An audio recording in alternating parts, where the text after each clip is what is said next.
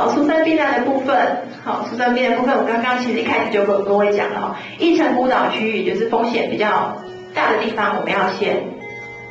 呃，预防性的疏散撤离哈，那其他的部分呢，我们就针对洪荒警戒去做分级的撤离哈。那这边有各级政府应该要做的工作业事项哈，这边各位稍微参考一下就可以了哈。这个应该是在呃事前的疏散避难计划定定的时候，各位就有参与了，所以其实应该很清楚哦。那我第一个简报到这边，谢谢大家。